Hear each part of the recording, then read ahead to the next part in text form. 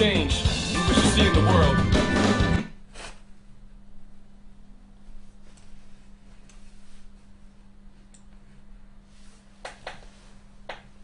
I wonder, I wonder what you would do if you had the power to dream at night any dream you wanted to dream.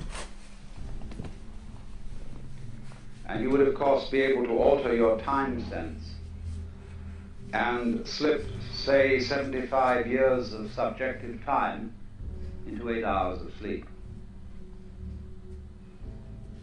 You would, I suppose, start out by fulfilling all your wishes. You could design for yourself what would be the most ecstatic life. Love affairs, banquets, dancing girls, wonderful journeys, uh, gardens, music beyond belief. And then after a couple of months of this sort of thing, at 75 years a night, you would be getting a little uh, taste for something different. And uh, you would move over to an adventurous dimension where there were certain dangers involved and the thrill of dealing with dangers. And you could rescue princesses from dragons and go on dangerous journeys. Make wonderful explosions and blow them up. Eventually get into contest with enemies.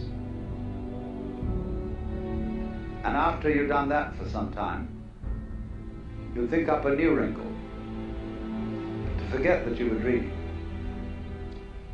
So that you would think it was all for real. And to be anxious about it. Because it'd be so great when you woke up. And then you'd say, well, like children who dare each other on things, how far out could you get? What could you take? What dimension of being lost, of abandonment of your power, what dimension of that could you stand? You could ask yourself this because you know you'd eventually wake up. And after you'd gone on doing this, you see, for some time, you would suddenly find yourself sitting around in this room with all your personal involvements, problems, etc., uh, talking with me. How do you know that that's not what you're doing? Could be. Because after all, what would you do if you were God? If you were what there is, the self. In the Upanishads, the basic texts of Hinduism, one of them starts out saying, in the beginning was the self. And looking around, it said, I am. And thus it is that everyone to this day, when asked who is there, says it is I.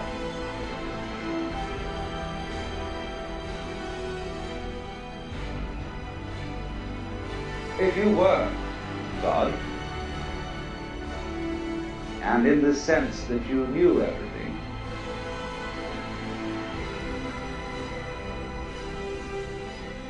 you would be bored.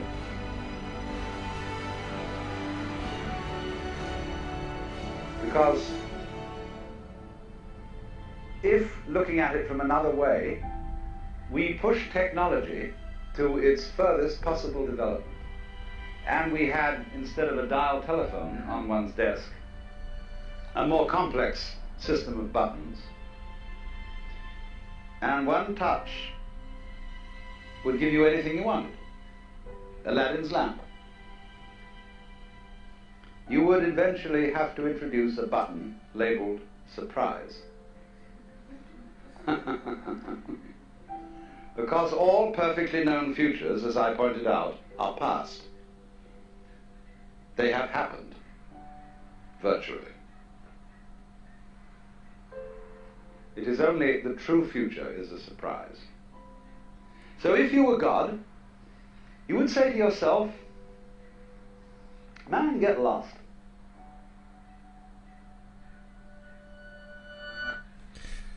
Damn. That was some powerful stuff. I love Alan Watts. Join the crew, man. Alan Watts is my favorite uh, philosopher.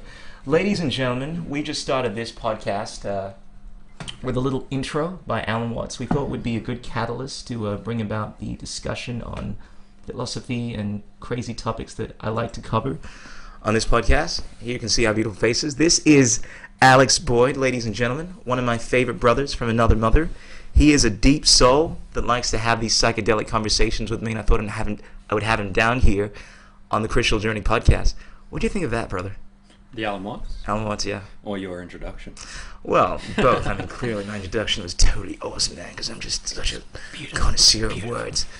It was good. I mean, I, I was having a lot of thoughts during. I was thinking about how not only do I love how Alan Watts breaks things down in such just a simple and mm-hmm. easy to understand and Try to speak up to the microphone just a little bit. I want to get your deep, sexy voice in there. easy to understand, but also sexy a bit. paints things in such an elegant light. Is it's fantastic. Like he's, I don't know. He's just a great philosopher. At the same time, I don't like how the. I don't know if you've re- seen the Alan Watts Dream of Life stuffs a lot, I think I've seen that one as well. but I don't like how it has such a a focus on the conscious choice of surprise or the conscious mind of God. And the thing I don't like about that is the fact that it seems a little too human for me. I more like to lean towards the McKenna idea of the universe is not only stranger than we suppose, but it's stranger than we can suppose. And that whole, hey, let's take a random walk through history, Mhm. press the surprise button, is a little bit oversimplified for my taste Well, you see, that's what I love about the conversation because I see it from a completely different perspective. Mm. Um, I'm definitely more of an Alan Watts boy. Yeah? And the thing I love about that is it's the one thing that to me explains this idea of us in the Eastern schools of thoughts being basically uh, an aspect of God. I mean, if we look at ourselves, the way that we behave, and we kind of look at the situation as to what we would do in a situation where we knew everything, Hmm.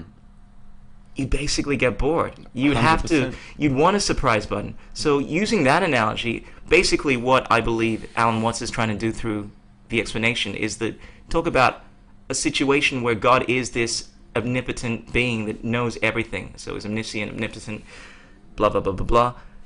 Clearly, if he has the same characteristics that us humans would have, it seems the logical thing to do to want to want to surprise yourself. And the only way to do that is to well, yeah, the only way to do that in my mind is to create a universe where you don't know everything, and I guess there isn't this perfection. I guess that um, that you would see if you were in only a perfect universe where there is no surprise.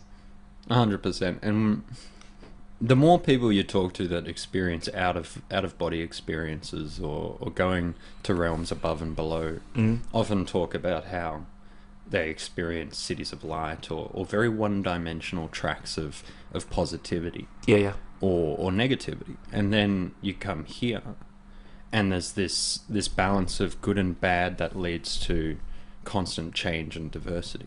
yeah. Before we get too deep into this, because you and I, we always go deep. Let me Very. just uh, get this thing rolling, ladies and gentlemen. In case I didn't do it justice before, this is the Crucial Journey podcast. This is my soulful brother, Alex, over here, and every once in a while, I like to get these uh, these intellectual soul brothers, as I like to call them, down, just to discuss these trippy topics. Uh, I guess a lot of hippies like to have these uh, these conversations, and this is what my podcast is about: having these hippie-like conversations, and obviously talking about the state of the world, talking about music, girls, and all the stuff that we usually talk about, but we rarely set a, a time to uh, to delve into. So this is a good opportunity to to have these one-on-one conversations and things like that. So, uh, ladies and gentlemen, um, if you do like this podcast, be sure to share it. I think I am on YouTube, Stitcher, as it shows over here, and iTunes. And uh, yo, just tell a friend. I mean, that's the best way to uh, to promote something this day and age. Just the word of mouth. And uh, yeah, support this thing if you want to hear more about this, more conversations like this, rather. Uh, let's get this ball rolling. I'm just going to do my introduction, and we can uh, pick up this conversation again. Boom.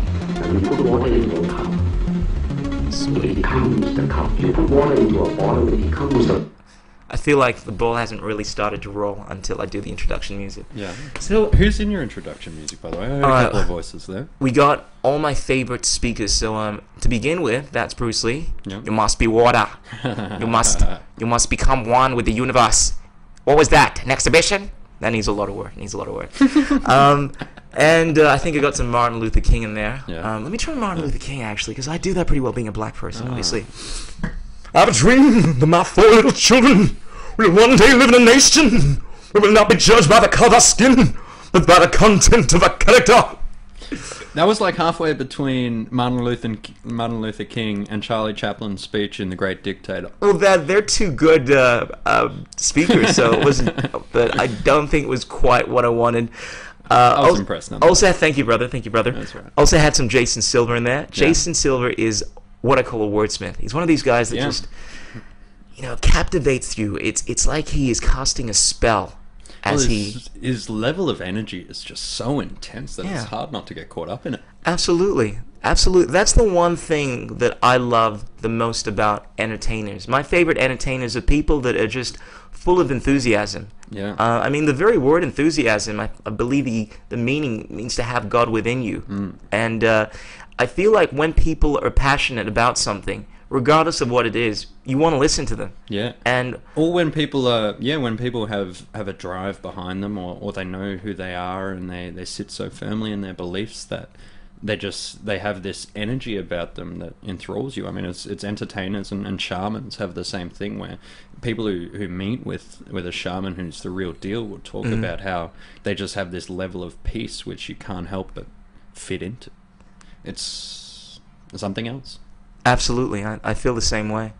Um, but brother, you know, before we got into this uh, this podcast over here, we're talking about oh, the topic, one of my favorite topics, What topic women, man, Women. man. We were one of our favorite conversations. I think is whether or not guys and girls are different. Now, clearly, I think to most sane people, I don't mean to bring bring it down over here, Hey. but let's let's be real.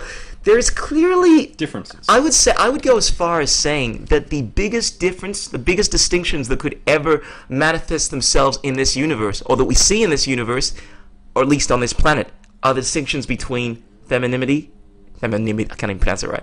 Uh, Femininity. femi- femininity and masculinity, Yep. male, female, the yin and yang. I think to say that there isn't a distinction between those two is like, But would you well, also what what is distinction then? But would you also deny that you don't have a balance of those two energies within yourself?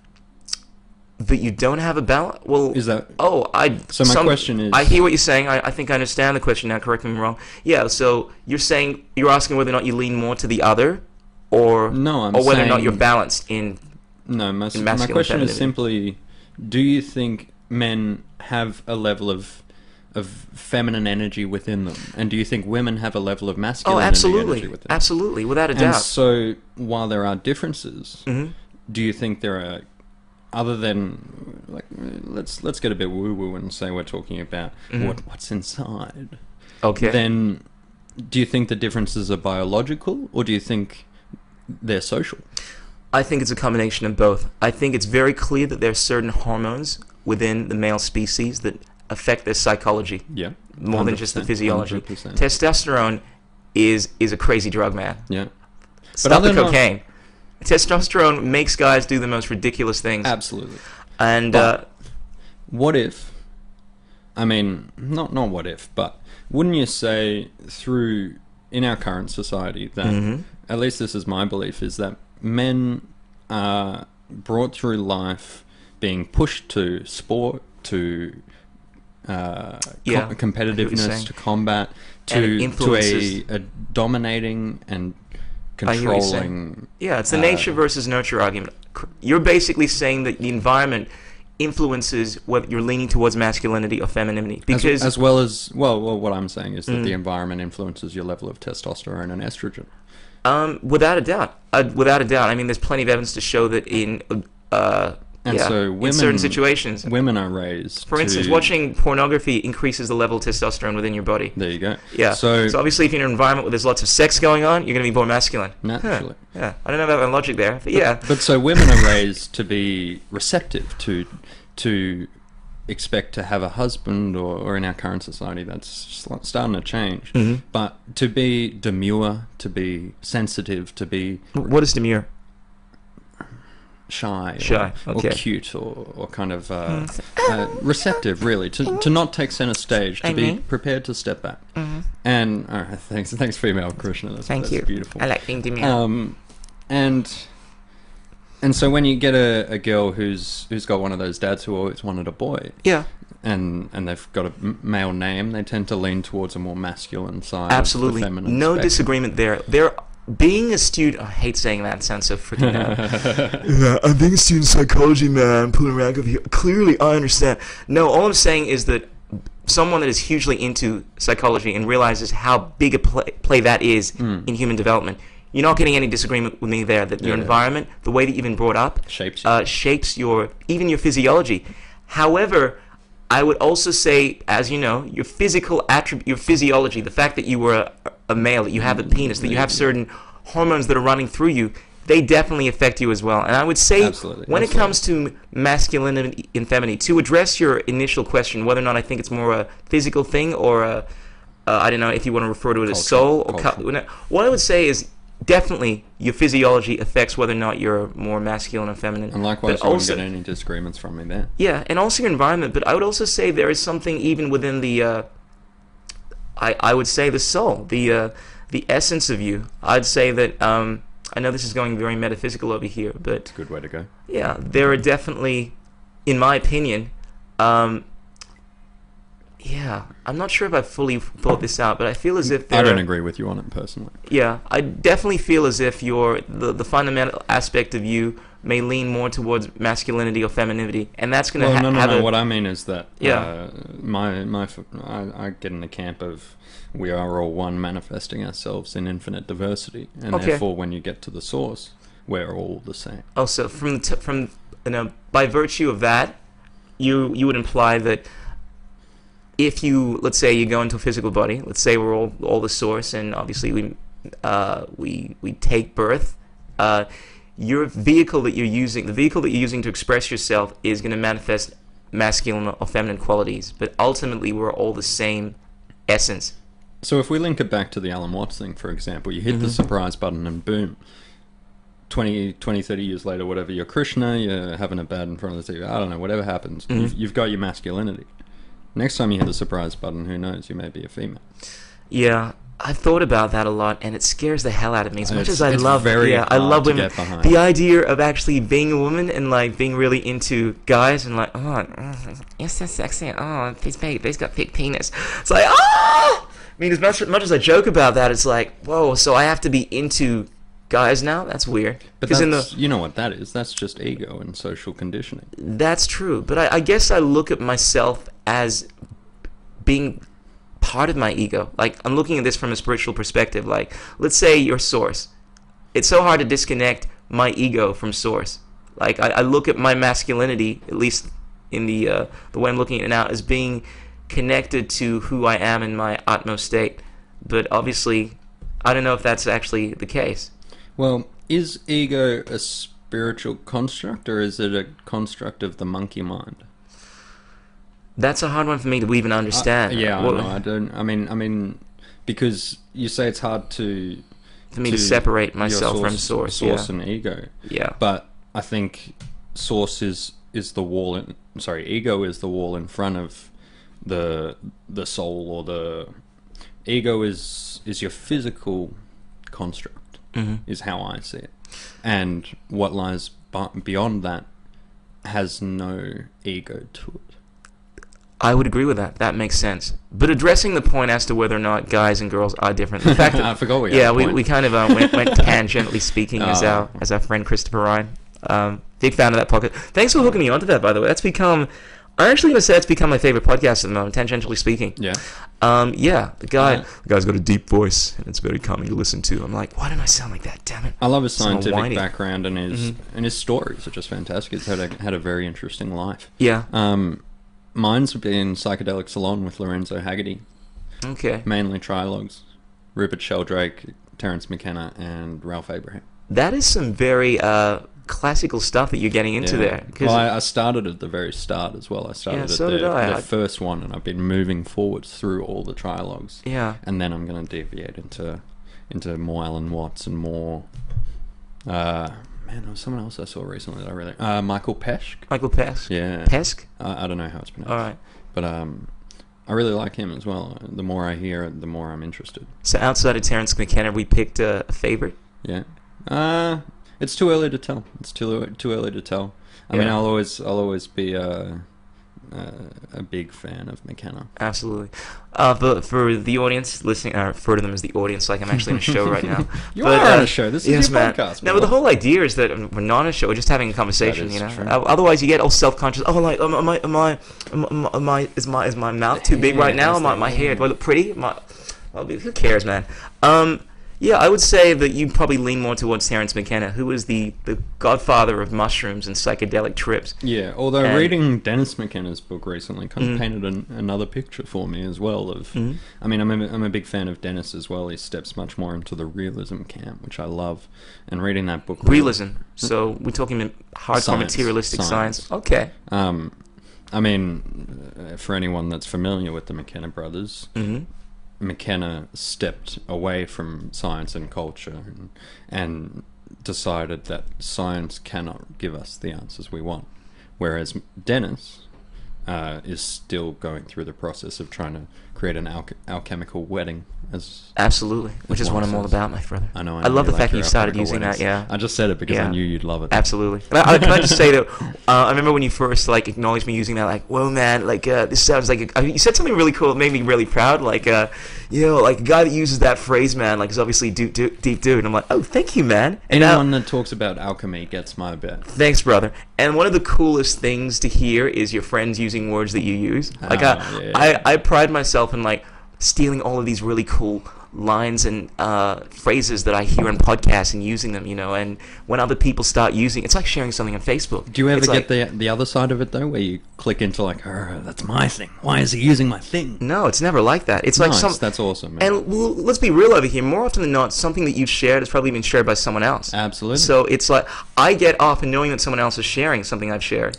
and Mm. uh, it's all part of the process about wanting to raise everyone's awareness. And when you find something that is relevant to you and definitely benefits you, you want other people to benefit from that as well. And imitation is the finest form of flattery. Absolutely, but uh, but yeah. I th- well, we went we went off all tangential there for a second. What were we talking we about? don't we don't have a, an original tangent to begin with, Yeah, yeah, yeah. other than men versus women. Yeah. Um, but back to the whole. Um, ugh. This was relating to. Oh, that's right. You was talking about. I wanted to get into this. You were talking about how Dennis McKenna is more materialistic, and some other dude has kind of like found a synthesis between um, both the material science and the metaphysical kind of like. Wh- which other dude? Uh, I think you mentioned Dennis McKenna is more of either materialist than then Terence. Terence, fair enough. I um I don't believe that science has to be materialistically inclined.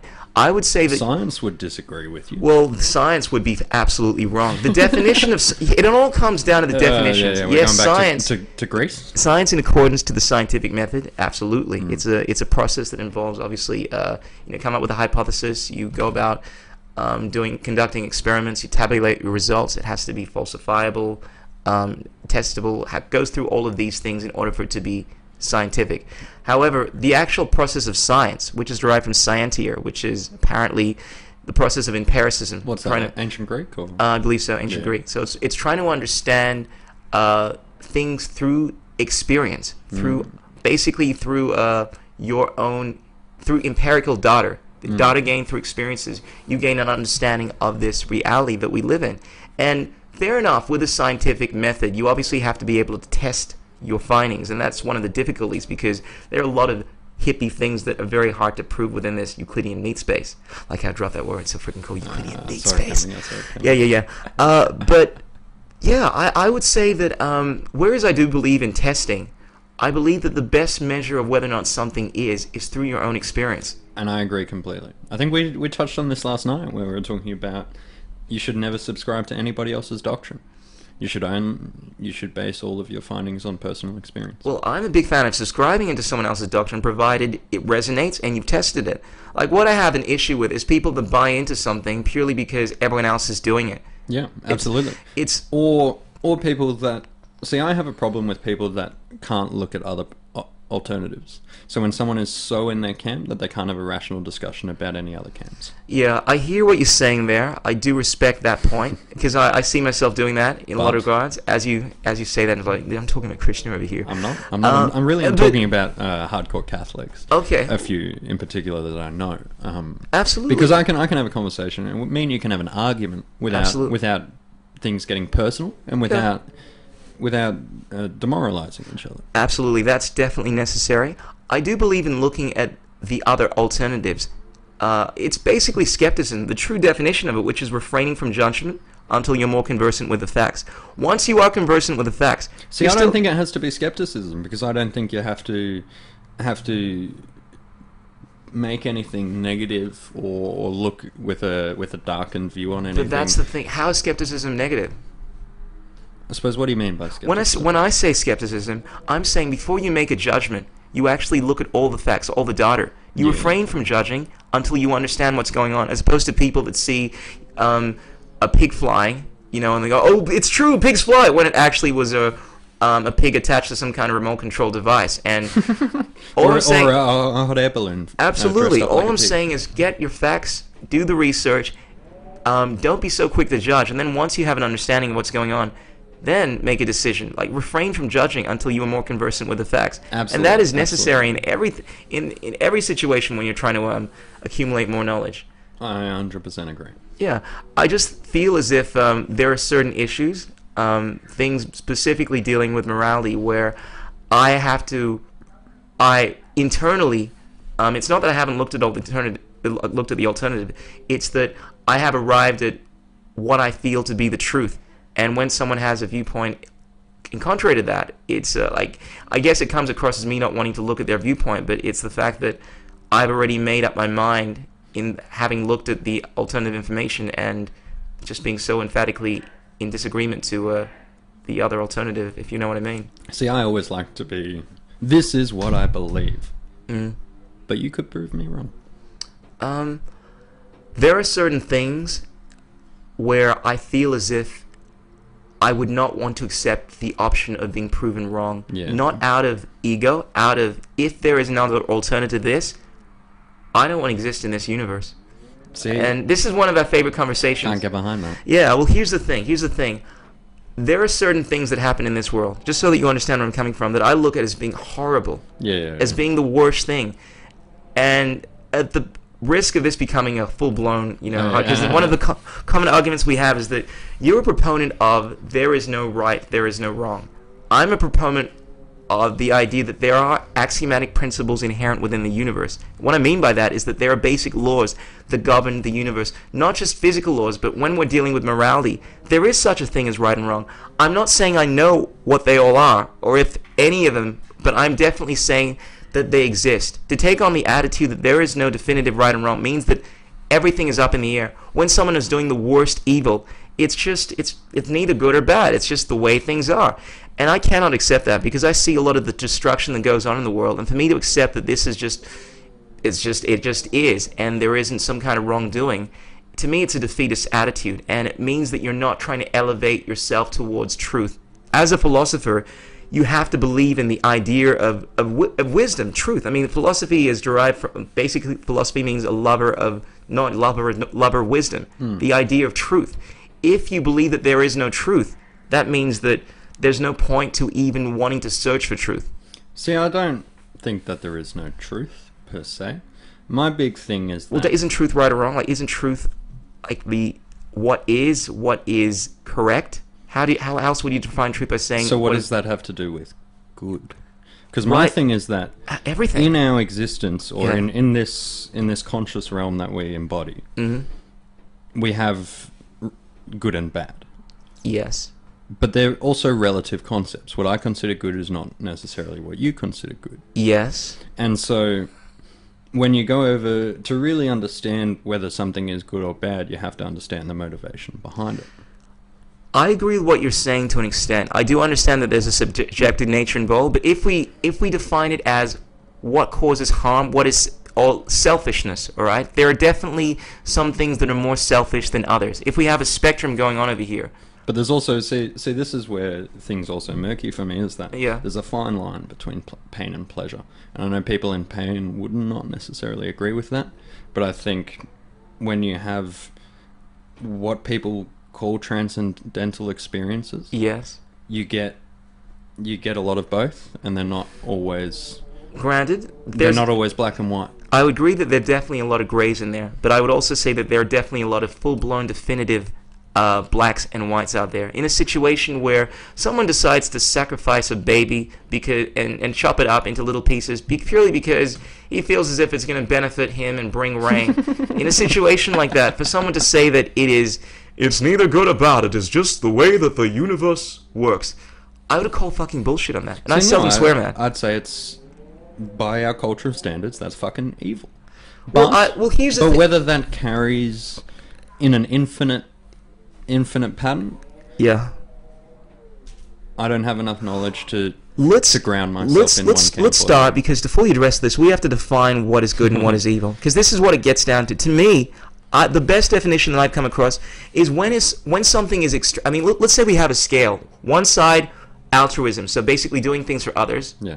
Other side, complete and utter selfishness, right? Hmm. When I would say that you are doing something that is on the extreme pole of selfishness hmm. and it is it is detrimentally affecting someone else, that I think is a good definition for evil. Hmm. And based on that definition, I would say that if someone is doing something that is selfish by, let's say, killing a baby, believing that it's going to bring about goodness to his crops, all right, selfishly motivated, and it is this extreme detriment of someone else, that fits in my definition of evil. But So- to the alternative of saying that there is no there is no distinction between anything, like there no there isn't a sliding scale of good and evil. It's just everything is the same. That's something I feel that I would have to be insane. I'm sorry to say this, but to to accept. I'm not saying that you were insane. I'm saying that that viewpoint to me, Call me insane. it comes a.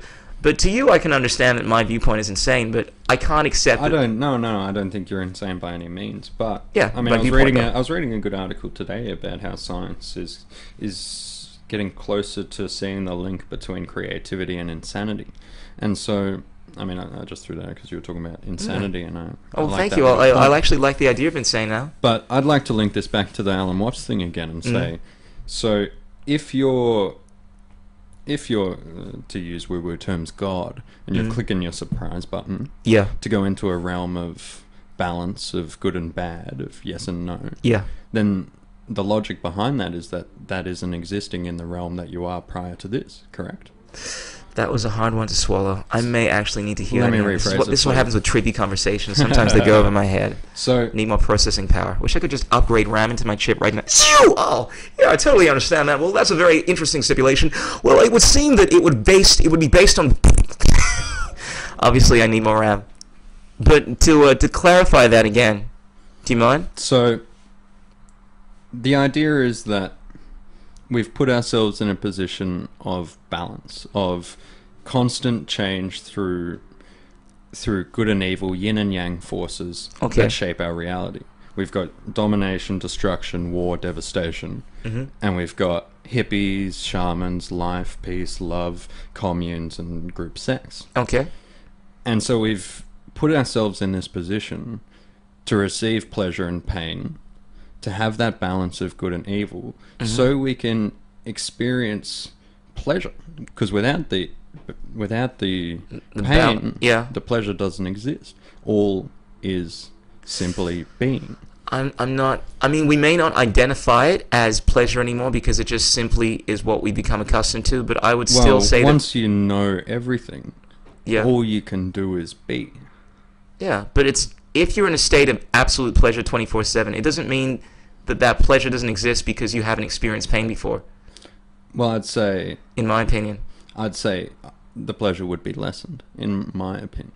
Yeah. because I mean, I, I, I do understand that. It's kind of like if you haven't had water for several days. oh, it's so Yeah. goddamn good. Absolutely. And if you if you smoke weed every day for a month, but at the end of the month, you won't be having nearly as much fun as you started.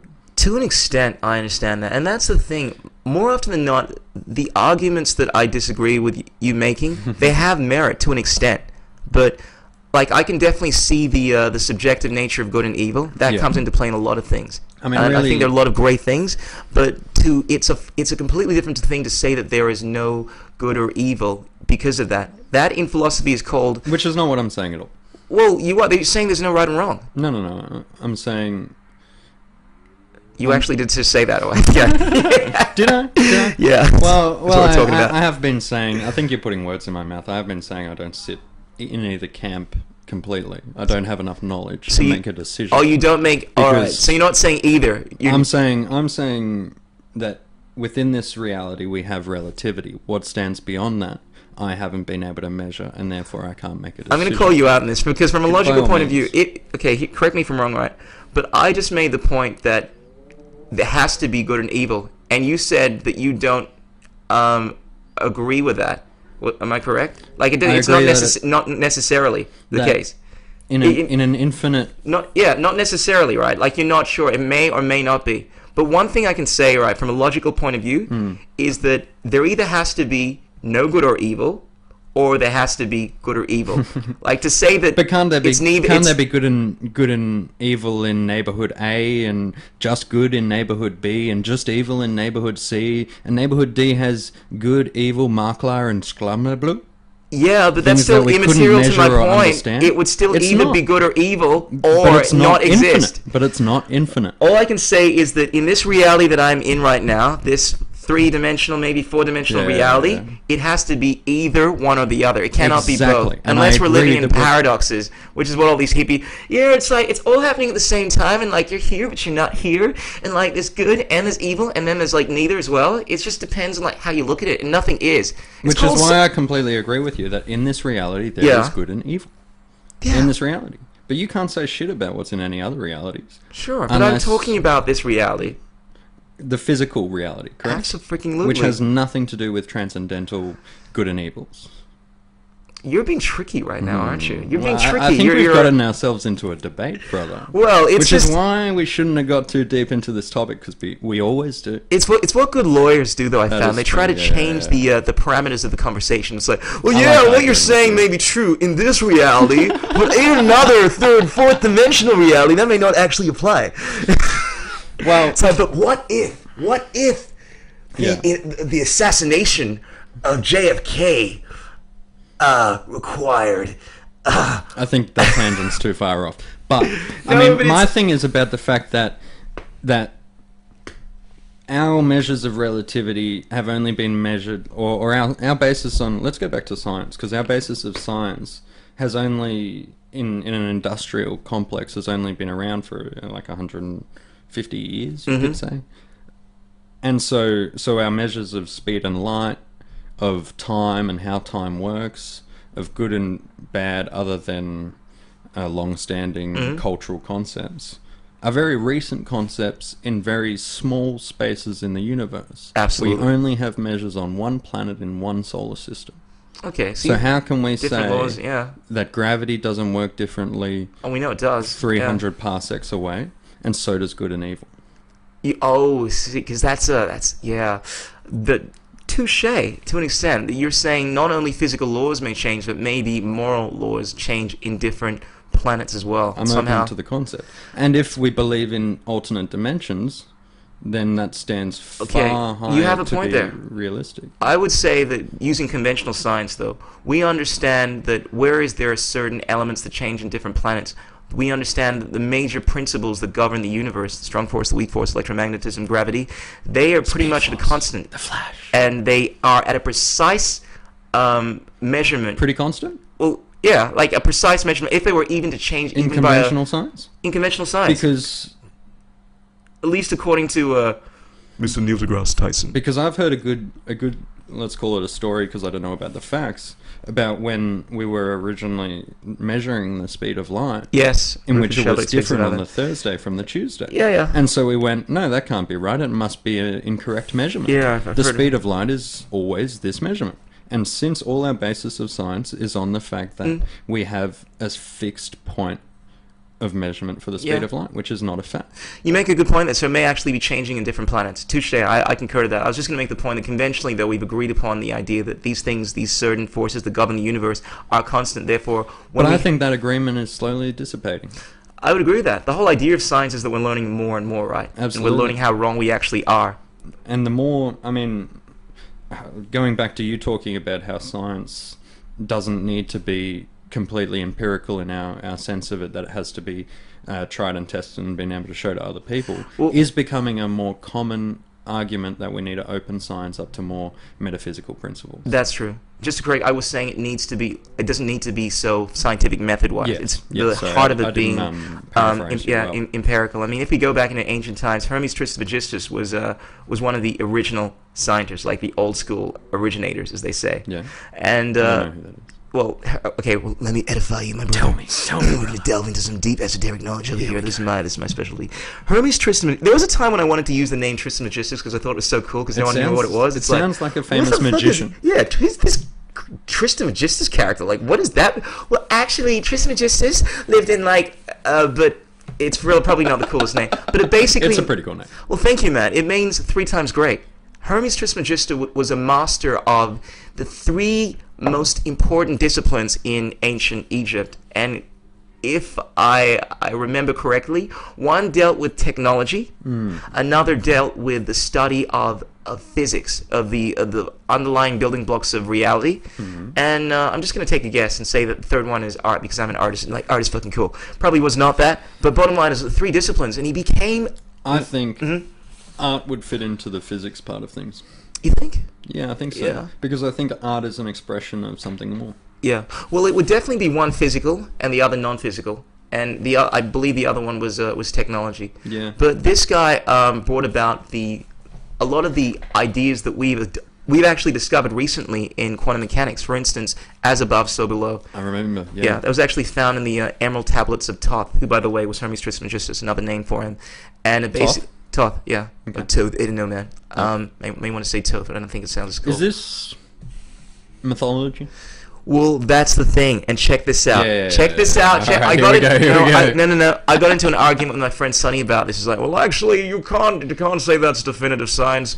Hermes Trismegistus may not have lived." He kind of sounds like he's got this really kind of. Are we going to go back cool to uh, Ragnar? No, well, we will talk about that because, as you know, I often say that myths might quite possibly be one of the great. The idea that myths are just myths is quite possibly one of the greatest myths that that has ever uh, been perpetuated in society. And I the got more, the more Graham Hancock, the more uh, who's that guy I mentioned to you last night? The um, Randall Carlson. Yeah, yeah. The more we see about these great cataclysms that have actually happened, Yeah. the more we start to turn that veil on those stories having much more uh, absolutely. uh, f- legitimate information in them. it's so hard to keep a conversation on on track because you're is. going through all of these different yeah.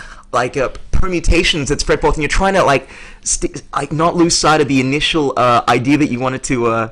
To focus on, otherwise you're gonna get lost. And I love it because we have so many ideas that are going out in the air. Absolutely. But it's like, oh wait, wait, I gotta keep, I gotta keep my side on this one. I almost lost back it. Yeah, but before we go, we follow up some of those um, tangents. Um, I wanted to mention that in regards to Hermes Trismegistus, how Alexander the Great actually found his grave. I'm pretty pretty sure. I remember listening to this on um, a podcast, um, courtesy of Manly P. Hall, who was, by the way, the master of like knowledge. I, Sonny and I both agree that out of all the people that we have come across, there is no one that knows more about different traditions, about different things of everything. I need to I'm just purely on knowledge, I need to knowledge about everything. Yeah.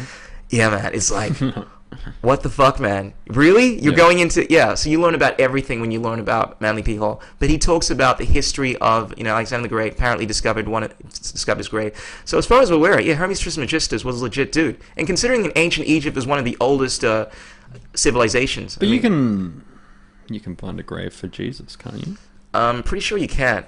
You can't. I'm pretty sure, yeah, you can't. I mean, It's, uh, I could go and put a tombstone down for Oh. Merlin the Great, couldn't I? Oh, I see what we're doing now. We're being lawyer, you're being throwing out the. That is a possibility. Yeah, but I um, mean, just because we find a grave, it doesn't prove shit. That's true. as I guess it would be the corroborating evidence. Really, for me to believe in Toth, I want to see these tablets. All right. Well, based on the fact that there's so Or many writings acc- accredited to this guy, he was the most pivotal figure in Egyptian Yeah. Egyptian uh, history. I'm inclined to think that the guy was legit. Yeah. Yeah, and it, uh, Yeah, I mean, really, it's I I love how all these mythologies are showing more and more scientific language Yeah. encoded and and ancient batteries that we're finding and all these things. that's true. Um, but I still have a little little Fair enough. bout of skepticism. But me, Alex know. Boyd, good to have skepticism, but I got to I got to uh, express my disgruntled feeling when it comes to people, not you, but people looking at history. All right.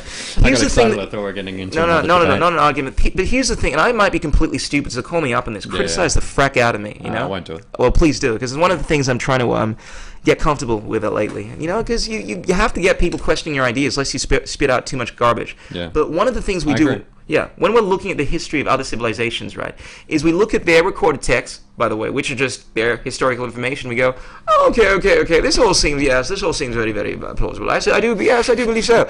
Uh, what is this? Your people were using nuclear weapons? This is, this is preposterous. Well, this could not be. No, no, no, no. Let's get rid of it. This is purely science fiction or mythological information. And that is what we do when we're looking at the Upanishads, the uh, the Bhagavad Gita, the ancient Indian traditions. This is what we do when we're looking at the Eddas. This is the uh, the Norse mythologies. This is what we do when we are looking at Greek mythology because there is a lot. I mean, we found out a while back that the story of um, Troy Yep. was actually legit. All right, Yeah. and there actually was a city, and yeah. But even well, even though we found a lot of writings, uh, basically, uh, obviously alluding to this city, basically talking about it, we were going, no, no, this stuff, this stuff sounds way too fi- fictitious. So in the situation with, um, So we debunk things that don't fit into our conventional knowledge. Absolutely, absolutely. And the situation with Vikings, like you know, we were talking about this the other day about how this, that TV show is Mm-hmm. supposed to be loosely based on the actual story of Ragnar Lothbrok. Yeah. He was a legit figure. You can look him up on Wikipedia, and that fascinates the hell out of me because. Um, I mean, most of the stuff that we're seeing seems very credible. There's a lot of sources for it, but on the same on the same um, historical manuscripts, you find references to Thor and Baldur and Loki, and Hmm. As if these they were real people. as if they were real people. And what I conclude from that is that, without a doubt, like with most history, there's definitely embellishments at hand. But it's quite possible that the, there were these Norse incredible figures that were quite possibly doing what we would deem to be magical things. So, So do you think these people are like Nephilim type Anunnaki, like god-like characters that oh. have been embodied in flesh? Oh. You dropped Or do the you big one. Well, well, well, let's not All get too far let's into the get too far Nephilim into- camp. all right, all right. But do you think Mm-hmm. they are they are these gods embodied in flesh, or do you think that they're normal people like me and you that have meditated the fuck out of their lives, or what have you, or have and have gotten better access to to knowledge? Um, I would say quite possibly um, B and quite possibly A, but Yeah. I would say I would be in line with T.S. Eliot when technology becomes sufficiently advanced, or magic rather becomes sufficiently. And let me. St- I always stuff up this quote. It really annoys me. I think it would be technology yeah, when technology becomes sufficiently advanced, it becomes indistinguishable from tech from magic. from magic. Yeah. yeah. I always stuff up that one. Yeah. but you, yeah, you know what I'm saying, right? It's quite possible Yeah. that these guys were just using technology, and it became like magic. That is, I think that's the most the feasible logic within our current uh, standings. Because when you look at ancient Egypt, Egypt and um, the Aztecs or the Mayans, in a lot of their sculptures, they seem to be holding remote-like objects and things that don't Yeah. fit into, or don't. We can't put a Absolutely. a, a logical. Oh yeah, that's a tool that they use for digging Oh, dirt or yeah. something like that. And even with the most um, like uh, crazy creative uh, analysis, when you're looking at the artwork of some Mm. of these Mayans, it's clearly spaceships that they're sitting in. Yeah. I mean, there are there's so mu- there's so much wall depictions of the Mayans being in these instrumentations where they're uh, they're traveling through space. Yeah. Using these rocket-like devices. Well, yeah, and I mean- I I'm mean, not saying it happened, but I'm saying that to suggest that these guys were not depicting spacecraft vehicles, it's like what? I mean, come on, man. What else is it going to be? Well, also that the native people talk about. Uh, I can't remember who's the um, Who's the Mayan guy? It's uh, Quetzalcoatl. Or on Yeah. riding on serp- serpent. serpents of flame and Yeah. things like that, which could be likened to something like like a rocket or or something with a propulsion Absolutely. uh, device in it. Mm. And one of the things that gets me when I hear about these figures in history, uh, like Quetzalcoatl, uh, how they're depicted by the people of their time. The, White, how well, Bald. Well, I wasn't. I was going to mention that, but how they describe the technologies that they use. You think about it in Mm. the context of these people, how they're describing these technologies. Obviously, not having a vast array of concepts or terminologies that we have in our in our society, they use things like wheels within wheels or serpents flying on fire, that kind of Mm. thing, which to me alludes to these technological uh, things that we have now. I mean, Yeah. imagine a, a like a, someone from like a thousand AD trying to describe a spaceship. Trying Well, to describe an iPhone. Absolutely, he's obviously going to he's going to refer to this in in terminology that I mean maybe like uh, I, I couldn't even imagine how they would try to describe some of the, some of And the he stuff held they have a tiny universe in his hands, and Exactly. it emitted light as if it came from nowhere. That's very cool, brother. That was deep. But it requires that kind of creativity, or, uh, um, yeah, it, it just, it, it- to me, it shows that these people were obviously trying to describe technology in the limited frame of what they had available, and it's quite possible they were speaking about quite advanced technologies. And I know how crazy that sounds. What do you think of the theory of a, a grandfather type race of a seafaring nation that taught the Egyptians their knowledge and taught the Sumerians their knowledge? The Atlantis, No. uh, the Atlantis civilization. I think it makes more sense than anything else that I've heard. Me too. And I know a lot of um, hardcore um, conventional scientists would disagree, but there, being a student of Graham Hancock, being a student of people like Michael Tsarion, who's an alternative historian, Yeah. you have a look at the the anecdotal evidence. When I say that, I mean the, the written evidence. There's over 30,000 texts, call it religious, call it historical texts, of civilizations speaking about their encounters with what we would term extraterrestrials or more advanced races. And they all allude to these people, you know, from whether it's the American Indians speaking about the Kachinas, you know, that taught them everything, whether it's the Aboriginals speaking about the uh, the Dreamland times, a lot of the references they give to these creatures, or whether even in South, even in Africa, where I come from, I learned not long ago that even in my hometown, Ghana, um, uh, Mali specifically, they speak about a race of people. There's a race of people called the Dogon tribe, and they inherited all of their knowledge from uh, people that came from the star Sirius, and they actually depict all of this in their stories. A a lot of the artifacts that they have depict the stories of these creatures that came from the Sirius star, and they talk. They have information about the orbital pat- patterns of the planets that they their ancestors came from. They they have so much evidence, but the well, the thing that gets gets me is how um, how the South Americans prior to the Spanish coming Mm-hmm. had sculptures and paintings and uh, depictions of white and black people, despite that they were neither. And there, there's they have all the markings that are expected of those physiological people. The white people have white people features. They're not just painted white. Yeah. And I mean, I, I know I'm being a little bit uh, a non-PC with my white Ah, people, stop. black people. Who cares about Yeah, PC, gives a man? shit. As long as your intentions Um, are pure. That's it. Yeah. Um, and so there's that whole uh, uh, Viracochas and, and Quetzalcoatl were white bearded men with no hair that came from across the sea, knew all this information, Quite and seemed to be from some sort of grandfather race. Does Graham Hancock speak about this a lot? yeah, it it's sounds, in yeah. it's in Fingerprints of the Gods. It's- Yeah. that's where I'm. Uh, But it, it seems to me that look, it may not necessarily be an extra, ex, extraterrestrial phenomenon. yeah, I wasn't but, going down that path Yeah. at this point. But without a doubt, we talk about how um, the first time that we saw white people come into these indigenous countries was, let's say, like Captain Cook time, or let's say whatever time it was. The official time. Hmm. There's so many other references of this happening. Like I think it's quite possible that, um, yeah, that these races were discovered. Uh, sorry, that other races traveled to other civilizations much, much um, prior And to gave what them we the gift of better technology. absolutely. But that's the fascinating thing about the planet, man. The history of it is Confusing? well, confusing Murky. and fascinating beyond belief. Absolutely. I mean, I think I remember this term about how uh, just dealing with how reality is more wilder than the most thought of. Um, I think this is Shakespeare. You know, like uh, Dear Horatio. You know, um, s- something that talks about how reality is the most um, crazy thing that you could dream that you could even possibly dream of. Yeah. People that are into Shakespeare know what I'm talking about. But I know, I know the quote roughly. Yeah. But I don't. I can't paraphrase it. Yeah, and um, the, one of the reasons that I've always delved into these studies is I don't think there could be anything more fascinating than trying to understand your origins, like who we are, what, what we're about, and that's what history is about. Well, it's I one mean, of the greatest mysteries of, of Absolutely. I mean, yes, I want to understand the future. Yes, I'm obsessed with technology, but I think one of the the questions that's ingrained into our psyche, our physiology, is Mm. who we are, why we're here, and history is is the one thing that obviously is going to give us answers to that. I mean, how are you going to know where you're going if you don't know where you came from? I know that sounds all kind of like, I mean, it sounds cool. Is that any truth it does sound pretty cool. yeah, but I really think there is something to that, and I think we need to address the issue of Well, it's also interesting. Yeah, it's also interesting how the further forward we go, the further backwards we seem to be able to see. his.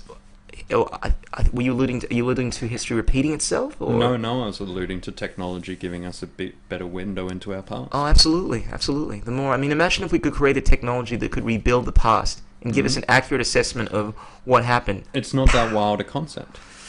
Considering the concepts that are being thrown around in technological circles today, oh, I mean, like time travel. not specifically, but yes, Yeah, that's one thing I can't get my head around, man. it's it's a doozy. Yeah, I I know there are two prevalent theories. I think we touched on this last night. Yeah. Our friend Lockie was saying. I think he made a point about how he doesn't see how there could be two yous at the same time. Well, that yeah, that paradox of two. Absolutely, but it, you don't necessarily have to go into that theory. I mean, one theory behind time travel is that every time you go back in time, you're creating an alternative reality. Yeah, you split So- into a new dimension. Yeah, and sorts. scientifically speaking, there are a lot of the- theories like the multiverse um, theory that there are.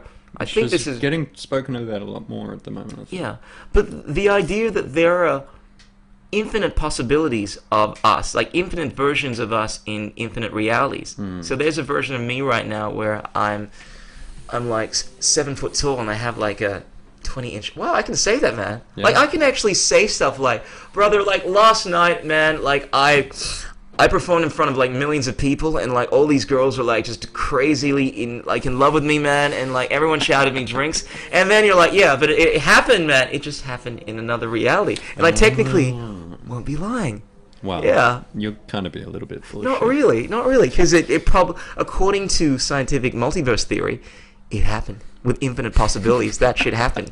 Well, I mean, even without a multiverse, if time is infinite, then infinite possibilities will and have arisen. Yeah. Which is why I always like to argue that you're a little bit gay. no, I'm just kidding. you got That- me there, touche, damn it. That the, that the possibility of being, being a homosexual is there.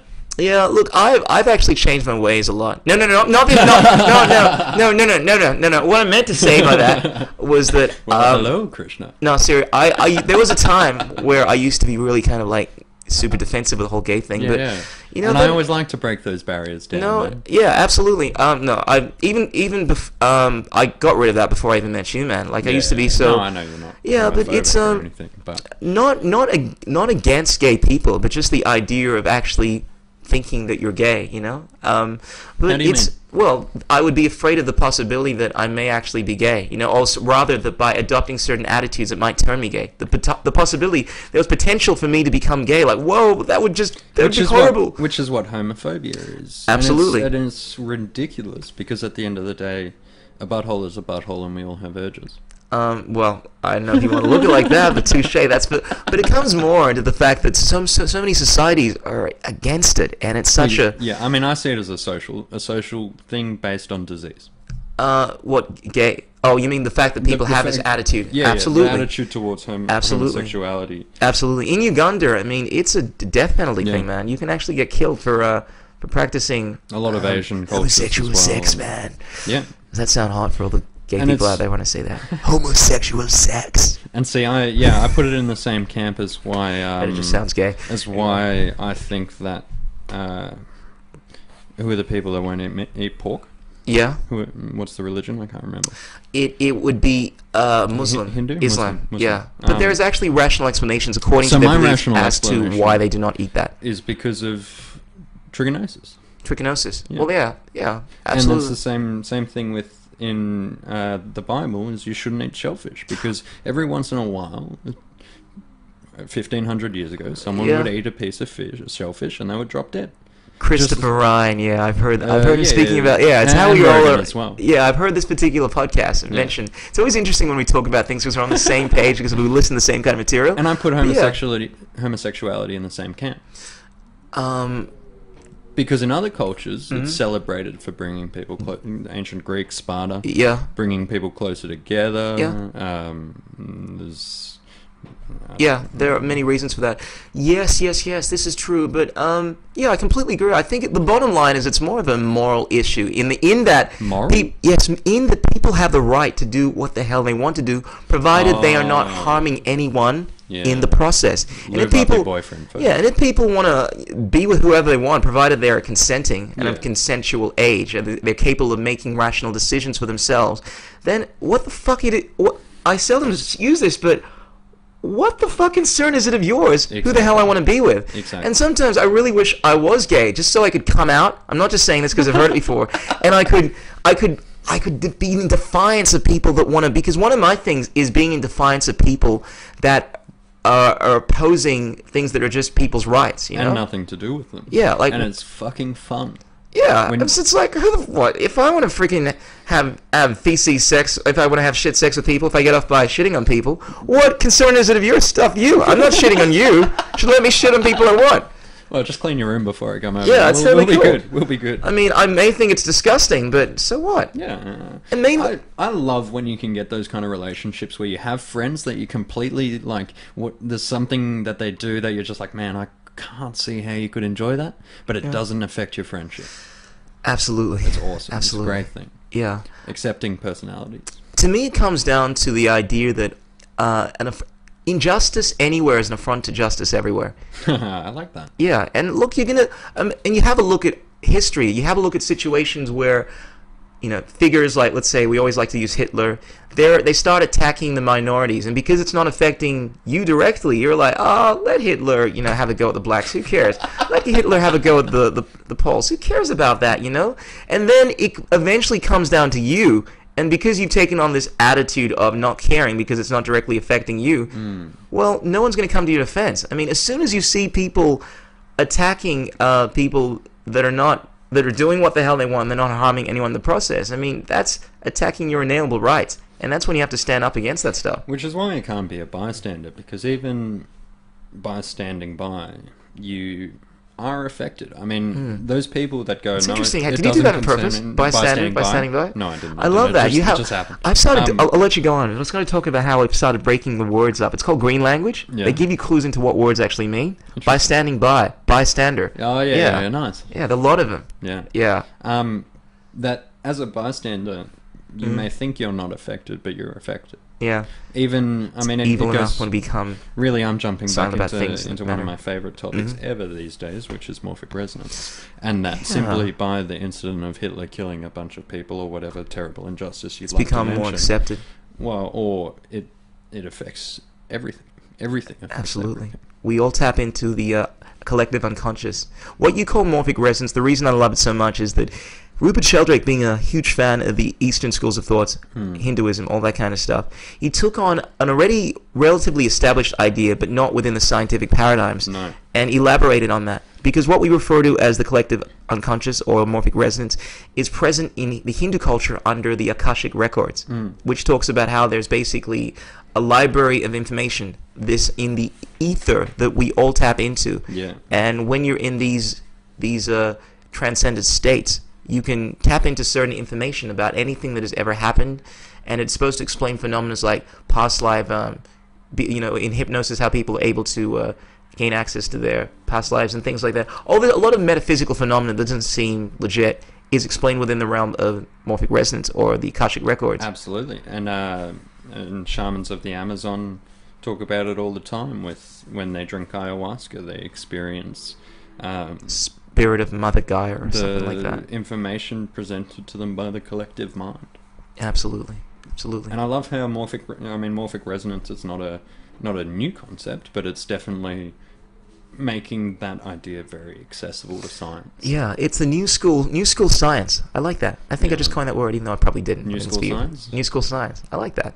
That's uh, that's what it's bringing into this world, man. We need to find a synthesis between this materialistic mindset Mm. and uh, spirituality, and obviously quantum mechanics is doing that. And I think it's it's coming, and a lot of I mean, you can talk about how people are waking up, or or there's a Mm. big uh, big yoga movement in the air, or what have you. Yeah. But I think I, I think we're that. getting closer to finding that balance between materialism and and, and uh, spirituality. Right now, we the perfect example of that is ConFest. It's going on right now. I was Um, thinking of going to that. So was I. Karan was Karan was trying to sell it to me by telling me Karan's this crazy friend we have, and he oh you know he's the perfect salesman. He knows how to get at you, to get you to you know That's subscribe true. to something. He's like, oh, you're going to be lots of like hippie girls there, Krishna. You know what that means. So you didn't talk about the girls with me. He knew that I'm, uh, I Yeah. know where to find girls. But that. That wouldn't have much pull for you. Oh wait, you already you got so many girls waiting for you, man. You don't need to get girls. That. not that, not that. But um, Yeah. No, I mean, uh, no, I was excited about the hippies jamming, playing their guitars, beating on the drums, So use that angle for you. shirtless in the woods. Absolutely. But then he disappeared without letting me know when they were going. That's so- Karan for you. Uh, but I, I feel as if people within that world, they he was telling me that, that they all have this hippie attitude. According to Karan, that basically means, and by the way, I don't trust anything that comes out of Karan's mouth. Apparently, it means being happy. Like a huge part of being hippie, like is related to the happiness state. The fact that hippies, they do always have this positive vibe about them, and it's like being in this state of I would imagine, obviously not having tried these drugs, I can't vouch for it, but I'm guessing you may be able to. Uh, not that you would have tried these drugs, of course, because you would never do anything like that. But um, what are those happy pills called? Which one's ecstasy? Ecstasy. Yeah, it's Which like is MDMA. yeah, MDMA. It's kind of like being in a state of ecstasy Yeah. um, when you are in these hippie ConFest circles. Well, I'd say uh, after having a transcendental experience, or after after having an experience where you feel like you've touched the palm of God, or whatever you want to call it, Mm-hmm. and you're completely sober after that, you feel like ecstasy times a hundred. It's Absolutely. like that that hippie pleasure of being connected to things is one Yeah. of the apparently greatest pleasures you can feel. That's why they're called entheogens. I mean, these drugs, Yeah, they yeah. they're derived from to have God within you, and not that you're obviously having some kind of thought. Or maybe, hey, I just had a thought here. It's going to go really, really inappropriate. Yeah. But I just had a thought. Tell Check me. this out. I was going to say it's kind of like having God within you, like it God's in me, right? But maybe, just maybe, yeah. sex, like the the state of um, that euphoria, like or, that orgasmic state, the same is thing. Is more or less the same scene. And so it's all, yeah, yeah. almost as if We we're talked about this last night, We right? did. We're all striving for that. That extreme state of a euphoria that you experience, you know, and Well, it's like this idea whether it's that, I religious mean, it- experience or sex, it's, man. it's all the same. Looking at a beautiful piece of art, having a mind-blowing orgasm, being on four tabs of LSD, or, or within you. meditating and starving yourself for forty days, forty nights in the desert. It's all leading to the same touch of source, touching the palm of God. Yeah. Kind of. I mean, as many woo-woo terms as you want to put on it, we don't have anything that can Yeah. be culturally kind of. Oh yeah, that's what that is. Yeah, but it's interesting, and it might be what we're all trying Yeah. to uh, to attain, but we're, we're obviously doing it under limited capacities. Whether it's Absolutely. uh, absolutely. search for fame and stardom, which Yeah. I'm like, hey man, I want to be famous. And so, I mean, I was thinking about this because I'm not loved. I want to experience love with God. Nice. I was uh, no, no, no. That was uh, Yeah. like, that's a, a powerful thing to say because Mhm. I was thinking about this last night and how drug addiction. I mean, Gabor Mate or Mate or however you say his name. I'm not sure. I don't know about it. Says that uh, addiction is is simply the avoidance of pain. Everyone that is a substance abuser is trying to mask their pain, and I thought, well, that seems fairly accurate through the, my experiences with people who suffer a lot. hmm The other thing that seems to be an idea is that all drug addicts are seeking a high that the drug can't get them to, Yeah. and that they're seeking this touch with source or with with the creative drive within them, and they're stuck in a pattern of trying to get there and diminishing the effects of whatever they're having, and it's it's interesting. It's interesting Yeah, how, how the, the more you try and reach for that, Yeah. The less the less you can get it. Absolutely. Maybe because one way of you achieving it is uh, is obviously done. Letting go. Uh, no, I'm saying that the approach of using drugs to attain that is uh, may not be the best way, and each time you're striving for it, that way you're losing something. And Yeah, see, uh, see, I, I don't know. Like, I don't like the whole the whole concept of you have to obtain it on the natch. Yeah. Because there is no natural. I mean, if you have That's a good point. everything you put in your body affects your physiology. That's true. Whether it be an illegal substance or celery. Absolutely. Oh, I've started swearing a lot lately, man. I'm trying to be all gentle and distinguished and whatnot. But it's Um, kind of it adds character. I'm trying to trying to have bring some attitude But I think you gotta. I think you gotta pepper it out because you want to use those fucks to When emphasize what Yeah. you're saying. And if And I you was say trying to do that. fuck in every sentence, Yeah. you lose it. But the point you made was absolutely valid, Fucking and I was trying to. Yeah, that was a fucking good point, man. wow, look at you, making me a bad boy. But but yeah, one one of the concepts that I've assimilated lately, I love using big words, uh, is that there is no distinction between drugs and foods. No. I mean, at the end of the day, they're all affecting ourselves in a particular way, changing our physiology. And Absolutely. uh, I think the best way to medicate yourself is to be to be careful what you take into yourself. So I was talking to somebody the other day Mm. about how uh, your friend Dan, um, Dan, Dan, Dan. uh, big hair. Oh yeah, Dan. Yeah, we got to get him on guy. here. He's a Great cool guy. dude. Um, Yo, shout out to Dan if you ever get around to watching this. Uh, I talking gonna to- get him on here one of these to days. Dan about how I was seeing this thing on the Rogan podcast a little while ago about Mhm. how your gut bacteria creates cravings for food that you think you want. And Yes. so you are not controlling those thoughts. Your Absolutely. stomach bacteria is. We're a colony, my friend. And uh, it's funny because we think so many of our thoughts are our own, but they're actually created by other organisms within us. As well As as, you know- organisms without us, as above, so below. Yeah, powerful man. I like how you're bringing back the uh, Hermes Trismegistus shit there. Yeah. Um, but apparently, one third of the uh, the organisms within our gut, or even within our body. Oh, that's right. Check this out. Check this out. I got don't- it? stuff me on the yeah. Stuff me on the. I'm gonna stuff up the actual statistics, but yeah, I'm just gonna say one third of the uh, the cells within our body aren't even our own. Mm. That sounds crazy, right? Too much cannibalism, huh? Ah, how does that work? Because remember how I was saying how you were telling me about Yeah. how people that succumb to uh, cannibalism go insane Yeah. because of all the DNA that they're eating that isn't their own affects their mental state. Yeah. Yeah. it's, it's a woo-woo theory. Yeah. I'm, I'm seeing how that relates to um, the, uh, this thing. Doesn't matter. Doesn't matter. Doesn't, Doesn't matter. matter. But yeah, that's a crazy topic. Topic of cannibalism, man. Let's drop. Let's drop into that a bit because um, I know this is a topic that's really touchy. Yeah. But I I heard a, Would you a eat a report. person? Sorry. Would you eat a person? No, brother. if- I I don't even eat animals, man. You know how Oh, you know how yeah, what I'm like on this. There's no chance in hell I'm gonna eat a person. But I will tell you this. Would you eat an animal? Sorry. Would you eat No one. But check this You out, brother. I'm gonna I'm gonna throw this in your face. You ready for it? No. Not just you, everyone else. Well, you brace yourself, man. Most people, if they were eating a freaking human being, that's right, eating um, a human be- being, they would not be able to tell the freaking difference between pork, man. Yeah. Yeah, it's uh, that's why it's called long pig because pork, pig, pig flesh. It tastes very similar to, uh, according to uh, so many of the accounts. Yeah, that's very what they human. say. That's a and it- um, yeah, in North Korea, like I told you about the incident a while back about how, as you know, North Koreans very poor. They don't have much food, and the government tried packaging human flesh at some point as pork. And for a long time, the people were not aware of the fact that they were eating human flesh. Mm-hmm. They just said it tasted like pork. And they once, of course, they caught on to it and they were enraged. But So they're not eating the flesh now that they know it's human. um, yeah, but it, it's just an incident that happened. I don't know. On, I don't know to what capacity that hap- happened, Doesn't but matter. apparently it happened, and it's just scary to think that most people could not tell the difference between a piece of pork on the steak and human flesh. Yeah. And a lot of cannibal cultures they refer to uh, humans as long pig Hmm. because you can't tell the. Di- and you think about it, pigs are so very similar to human beings. I was about to bring Yeah, I that mean, up. there's a reason we can change. We can interchange certain parts of their bodies to human yeah, parts of uh, bodies. Human uh, hearts for pig hearts and things like that. As Yeah. well as, uh, you know what's one of my favorite things about how pigs are like humans? How? That pigs are adaptable. If you put a human in any environment, Yeah. if they've got the will, they will they will adapt to their environment. And Yeah. it's the same with a pig. If you take a pig from a farm, And you put it a into a cute little pink, wilderness. Yeah. fluffy little pig, and you put it in the bush, come back a couple of years later, and it'll be a goddamn ball. That scare. I don't know about you, man, but that scares the hell out of me. Think- Why? because um, well, the idea of eating something like that. I mean, look. I, once again, I know this is a sensitive topic, but the idea of me eating something like that that is a clearly relatively intelligent. I mean, let's be real over here. These things are intelligent, Yeah, and yeah, they're yeah. not that far away from the taste of Why human are they beings. intelligent? they're intelligent because of the fact that they hide, the fact that they they're they they employ So there are, certain. pla- there are plants that hide. Sorry. There are plants that hide. Okay, okay, let's do it. Let's do it. Let's do it.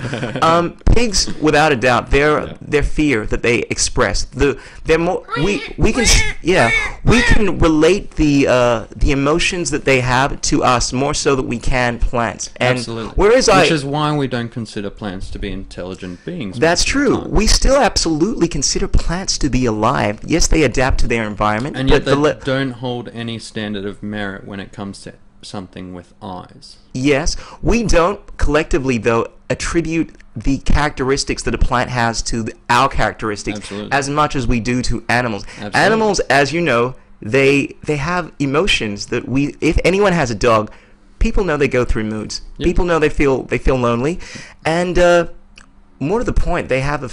Plants don't have a central nervous system. They don't have a, a heart. They don't have um, So we can't relate to them, so we find it very easy to eat them. No, well, the, the, the main point is their ability to actually experience pain. I mean, the whole idea of pain is uh, is related to the central nervous system, being able to interpret it. It's not. It's, So we don't know that plants can't feel pain. We just know in our def- in how we know that pain is able to be experienced, and that's through nerves and senses. yeah, you make you make a point there. We can't we can't argue it hundred percent from a from a scientific standpoint. No, but and so the- my But I would say that based on the science that we're aware of, the idea that um, sentience, the whole idea of sentience, sentience, which is another way of saying it, drop knowledge, yo, is that you do have a central nervous system that is connected to a heart, that is connected to a brain. That is, that's one way of us defining sentience. And because we don't see that within plants, we don't refer to them. Yes, they have a level of awareness. Yes, they have a level of experience. They're alive, but it's not that which is akin to that of an animal. you don't eat fish either, do you? No, I do not. Okay. It comes down to the fact that whereas you can argue everything has consciousness, stones Yeah. have consciousness, the air has consciousness. And I know how crazy it sounds, but everything, Not- if we have a look at the fundamental building blocks of everything, if we have a look at on, if we have a look at this in a microscopic level, It's you can't tell the difference. Yeah. However, there are certain things that have more consciousness than other. There others. Their ability to feel, their ability to understand, it seems more. Uh, it, it seems greater. Yeah. And I would make the argument that the thing, if something has a level of consciousness that, that is, similar to your own. well, not necessarily similar to our own, but is of a level that is too much. I don't want to freaking harm it because it is. Uh, feeling. it, yeah, it's feeling. Like if something is completely unaware, it doesn't experience what we would define as pain in our concept of how we define pain.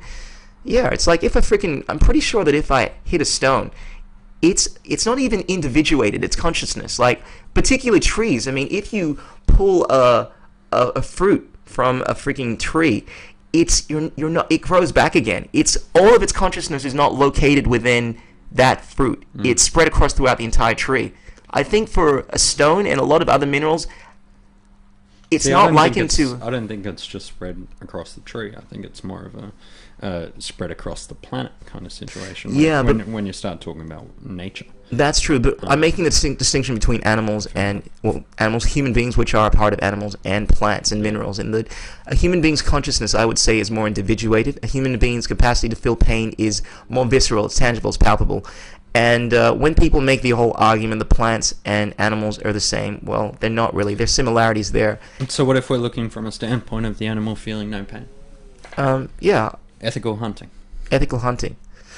Um, The animal would die anyway. Yeah, that's um, from the, from the point of the animal feeling no pain. Fair enough. In most cases, I would defer to the fact that that was most likely the case in hunting. The only, I mean, the only thing about vegetarianism and veganism that appeals to me is st- Mhm. standing against factory farming and, and Yeah. our, the way we get our food. But I'd much more like to go down the route of ethical hunting. Yeah, I've heard you bring this up. eating meat.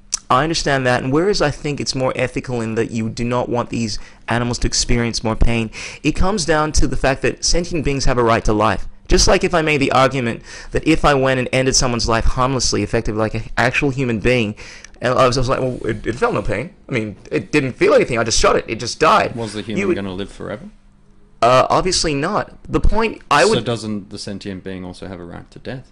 Sentient being, yes. But my point is that most people would use the argument that the sentient being had a right to life, it had a right to experience, it had ambitions and That hopes. is that and is the general general vegan argument. Absolutely. And ultimately comes down to wanting to minimize the pain and the mm. harm that you're causing on this world. And Absolutely. I believe it's inescapable. You can make the argument that life eats life on some way or another. But ultimately, when you have a choice to minimize that pain, mm. It I think from a moral from a more from a more moral standpoint, you should lean towards the option that is um, reducing the pain. Absolutely. And- I like the Native American or Aboriginal way of doing things, of only taking what you need, having immense respect for what you take and what Yeah. you leave, Absolutely. and uh, having that relationship with what you kill. Absolutely. Um, I ha- you have no argument in in a yeah, situation. no, I don't think we're not no, at opposed positions. Not at all. In a situation where there's no alternative, like a lot of people talk about evolutionary theory about ice age, ice ages. In a situation where there's basically no vegetation around, Hmm. uh, there are no animals around. You have to eat each other. I mean, I'd rather kill myself. Don't get me wrong, but so, it makes so in a position where you'd have to go cannibal or death, you'd go death. um yes, It's good to know. yeah, yeah. Well, good to know. that that's just me. I tend to have a very different outlook if we than most get people. stranded, I'm gonna eat, brother. Yeah, you're probably gonna eat me, man. Um, but don't You blame me, taste good. brother. You taste good. When I give you ma- CJD, Oh, which is shit, the there's no meat in Creutzfeldt's there. Jacobs disease, which is the human version of mad cow disease, by Well, the I'm way. stranded. I don't mind. Yeah, being it's crazy. like Mother Nature bores certain things. That's my theory, my opinion. But the point is that in a situation like that, yeah, by all means, if there is no other alternative, fair enough, eat those animals around. But I would make the argument in a situation where you don't actually need to, in a situation where you have, um, in my opinion, viable alternatives, which are arguably, in my opinion, better, it just seems like it's uh, a less moral stance to take. Have you always been a vegan?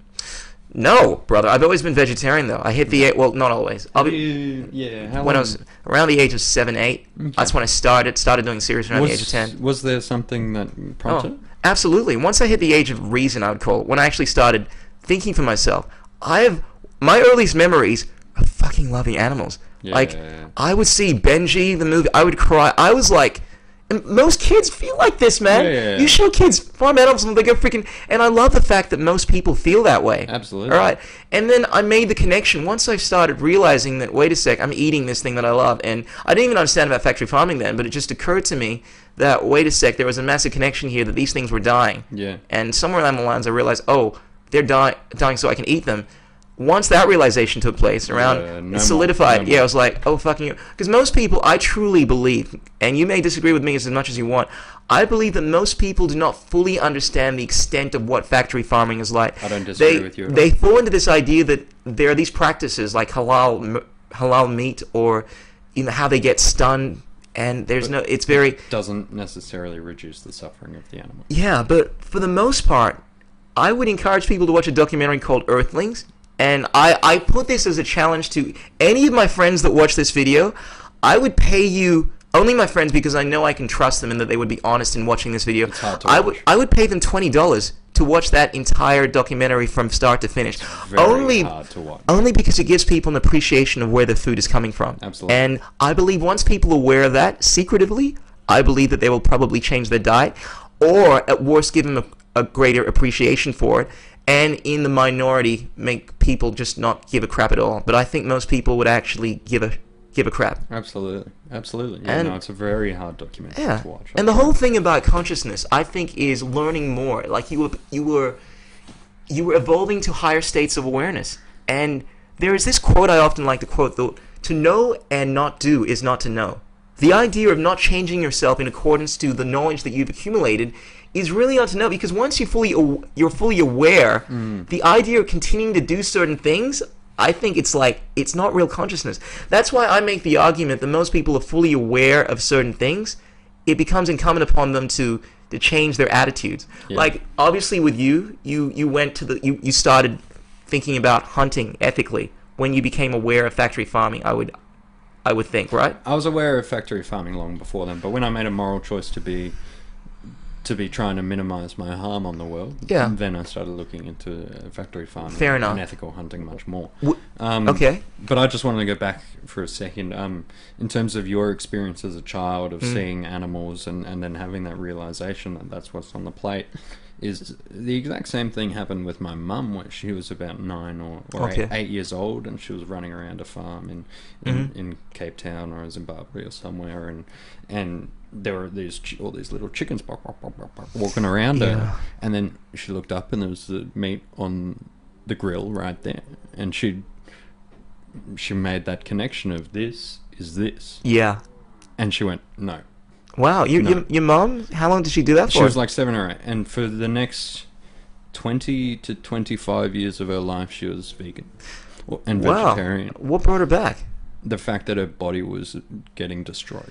Was she doing? I would always argue whenever I hear hear this. How was she doing it? Was she eating lots of fruits, vegetables, having a spectrum of different then, stuff? Yeah, The knowledge of how to be a healthy, veg- healthy vegan wasn't there. absolutely. And so, and she was a ballet dancer as well, and so Right. there was great pressure on uh, health or, or uh, the look of your body and, and those kind of things, and so That's a valid um, point. The whole the whole lack of iron and lack of education in South Africa during the 80s and 90s in terms Mm. of healthy eating and things like that. Yeah. Uh, it wasn't a viable option, but it's starting to become one much much more. Absolutely. There's a documentary called uh, what's it called? What's it called? Cowspiracy. I just watched a while ago that saw- addresses saw that. addresses this, and it. Uh, I mean, look, we're in the 21st century now. I mean, there's so many mock products out there that it's ridiculous. And I know people hate the the, t- the taste of this stuff, but What like tofu and stuff? well, yeah, tofu's very bland. But here's Yeah, the I'm thing. Here's the thing about and you look know what I'd go for if What? I'm vegetarian? You know What? what? my main replacement for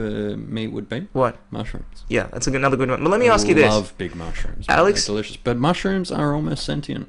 Um, you you have a good point there. I know you want to delve into this because they're yeah they act, the way they act into. overly. I I'm familiar with that. I'm familiar with that. I Um, just like but I would make the argument that if most people had to eat meat raw, completely raw, Hmm. they would not like the taste of it. No. Yeah. I've, I've It is- eaten, eaten, yeah. I have not actually. Yes, I have. I would have at some Like point. a Yeah. beef, beef tartare. It's Yeah. fucking disgusting. Well, think about tofu roll. Once you season tofu with all this yummy seasoning, you get a one of those gourmet sh- chefs to add all of this amazing, It'll yummy be stuff one with of it. the most delicious sponges you've ever tasted. Absolutely. But it's Yeah. still a fucking sponge. yeah, but it still has lots of Yeah.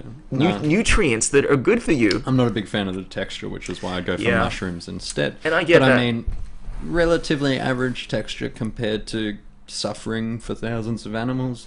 I, I can see your point a little bit. I'm glad you bring that up because one thing I've noticed, like I became vegan initially because of health reasons. It wasn't later on until I saw the connection. We don't need to go into that. But a lot of vegans argue that uh, the vegetarian diet has many flaws because ethically you're still facilitating these industries that are still slaughtering all these animals and whatnot. The whole idea is that in veganism you are tremendously reducing the uh, the pain that you cause. And um, from my argument, when I went vegan, I was still in the mindset that under a vegetarian diet you could still avoid um, all the all the harm. Like by having eggs at the end of the day, it's just the chicken's periods, you know. And provided it's uh, you you have these chickens yourself, you're taking good care of it, blah blah blah blah. You're not harming it. As far as milk, even if you wanted to extract the milk from a, a cow that you you happen to be friends with, it's like, hey cow, can I have your milk? okay, that's not unethical.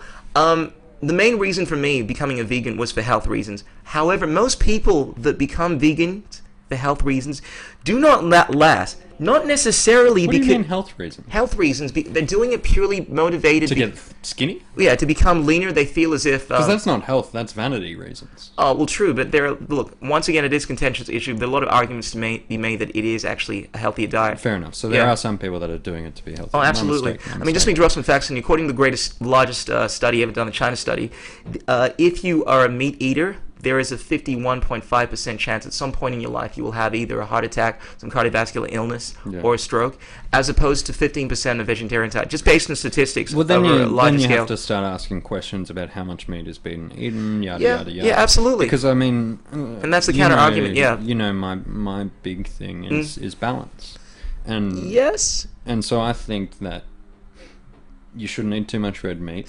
The same argument could be made though for smoking cigarettes or for taking um, uh, certain substances. That if you're taking too much, obviously you'll, ov- you'll overdose, but if you don't, you probably won't. But the point being made is that there's still there's still something about these substances or this uh, material at question over here that is not doing something good to your uh, arteries or whatever. and there's a lot of science see, behind. my my argument to Mm. that is that shamans and, and spiritual cultures use tobacco to ward off evil spirits. Yes. and that so and that marijuana can be used to have spiritual experiences Fair and so that while these things may not be good for your health in in excessive or even fairly regular use Yeah. that there can be practical and positive application Um, I would somewhat agree with that. I would. I think in the right doses, it's a very purely nuanced argument purely on a health level, yeah, there are people who live well above into their hundreds, yeah, on that on that diet. Absolutely. My point though is, oh man, I kind of lost my, my chain of thought know over we here. had a point to begin with. Um, yeah, statistically speaking, if you actually have a look at across the board,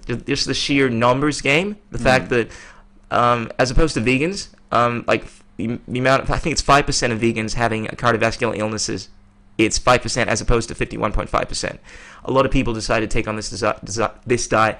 Also, you have a look at how it actually s- seems to cause certain cancers. Um, colon cancer is actually related to the consumption of meat. Yeah, yeah, yeah, yeah. and various other cancers as well. But the point is that um, a lot of people take on these diets for health reasons, right? Yeah. I don't think people will really last if they're doing it for those reasons. you think because it has to be a moral reason um, I, I have to be very specific standpoint. about my words over here because where I think a lot of people do last making that change. I think when it comes to motivation for selfish reasons, and yeah, doing it for yourself is a great thing, but it still is a selfish thing that you're doing it for.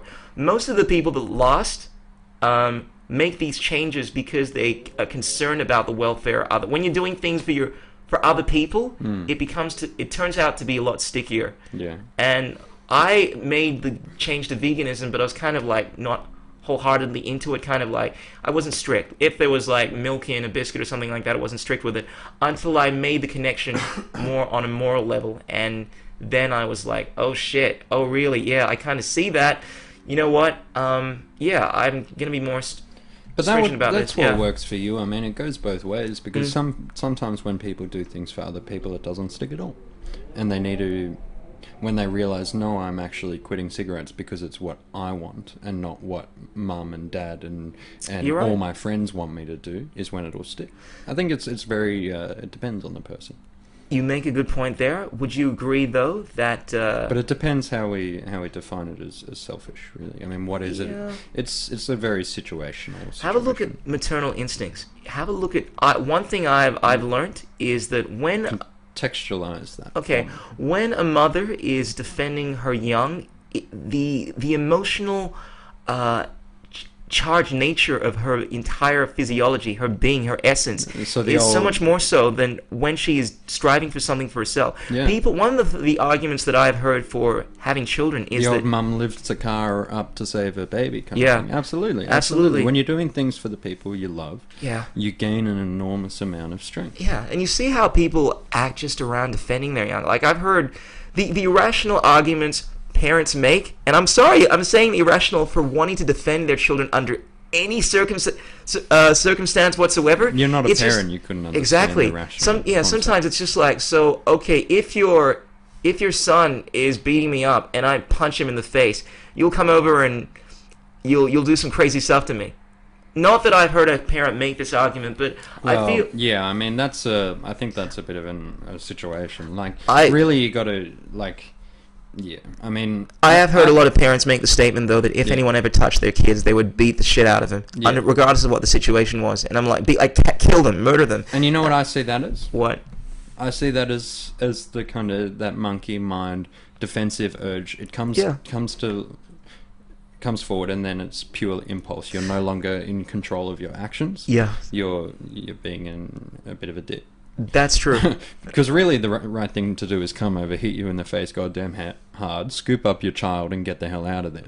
hmm Unfortunately, most people are uh, are relying on that reptilian brain when they're acting in that Yeah, well, maternal I instinct. I think it comes from this this thing of neutralizing the threat, hmm making sure that it can't come back and hurt the child again. Yeah, that's one of the reasons I don't actually want to have children. This idea that I feel like there'd be such a shift in a consciousness, not necessarily for the better, Yeah. mind you, that I would become biologically insane in certain aspects, like the just the, the level at which you're willing to protect Aren't you your young. biologically insane in Oh, to- certain aspects already? Oh, without a doubt, without a doubt. when women come into the picture, that become yeah, exactly. That's insane. yeah, that's that's bad enough, man. I don't Yeah. need to have another element brought to the qu- equation there, and uh, yeah, it, it does scare me, man. Um, Would you? Uh, well, it's it's an interesting concept because on one hand, it's like, would you would you fight for your life? And if you'd fight for your life, then of course you'd fight for your child's life. 'cause Oh, absolutely. your child is is simply a uh, a continuation of self.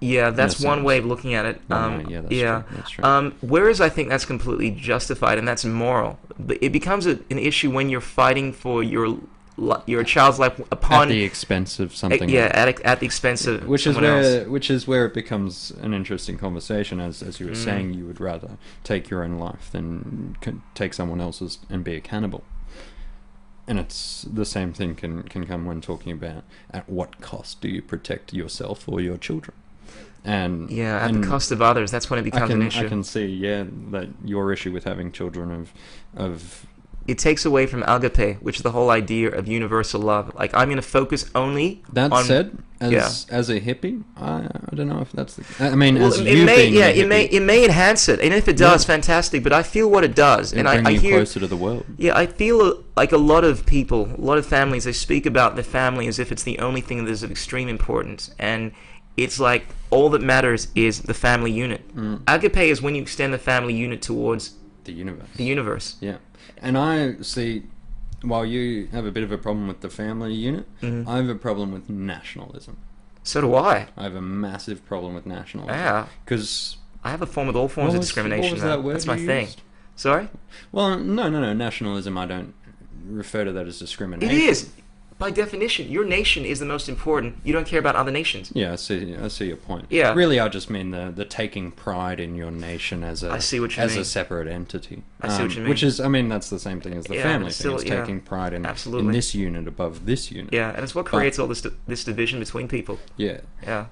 And I- I'd say we do it. It first starts with speciesism, and I know it's a sensitive topic, but we always say, "Oh, this is it's is only a pig. It doesn't have any feelings. Uh, I'll just do what the hell I want to it."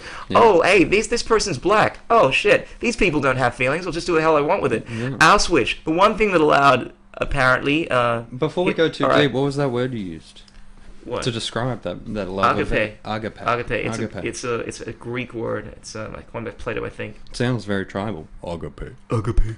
A- a- Agape. Yeah, I like it, man. Um, uh, you were saying about Auschwitz. Yeah, I mean, one of the analogies that I've heard that seems completely insane um, initially, then you go, oh shit, that's actually ridiculously uh, salient, as my friend Robert Foster would say. Uh, love dro- you know, name dropping there. Uh, Robert Foster is this guy that does this channel called Rap News, and I started using really big words because of him. And One of the words he uses is salient. Like, um, yeah, it's a really precise, clever uh, way of expressing something. And one of the concepts was around how in Auschwitz, basically the the the Nazis they looked at the Jews as being lesser people. They weren't normal humans. That's what allowed them to do a lot of the atrocities on them. It's like, yeah, we wouldn't treat normal good people like this. It's horrible. citizens. Yeah, but these are they're just they're not they're second-rate citizens. Mm. So obviously all this terrible stuff that we're doing to them is acceptable.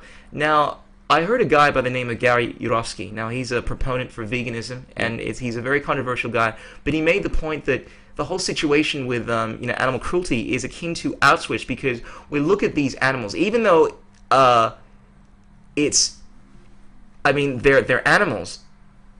At the end of the day, let, let, let me rephrase that.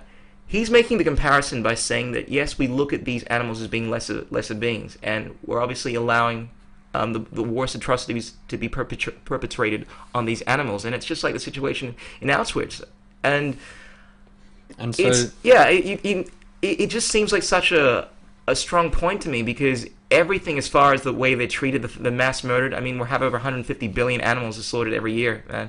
yeah. it- and to me, it comes back to a very simple point of Mhm. the the more distinction you have between I and other, the Mhm. easier it is to fall into that trap. Yes. Yeah.